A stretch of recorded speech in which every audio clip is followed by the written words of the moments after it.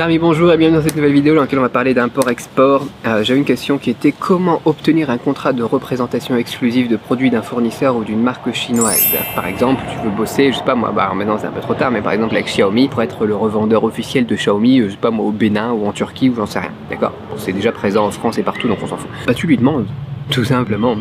Euh, Il y a deux choses à faire. Déjà, première chose, c'est contacter la société en question et puis lui proposer justement de faire un partenariat.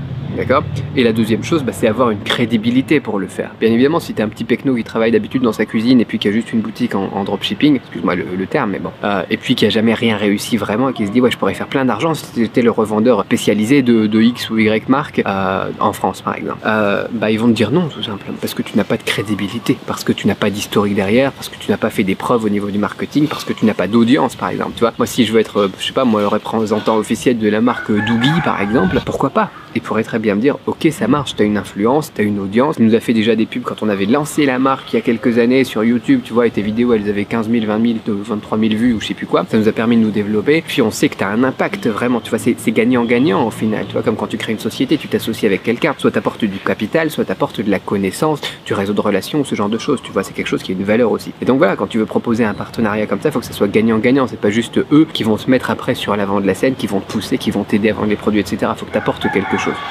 Donc euh, ouais, c'est une vidéo très rapide. Je reprends la question comment obtenir un contrat de représentation exclusive de produits d'un fournisseur ou d'une marque chinoise? Bah tu lui demandes.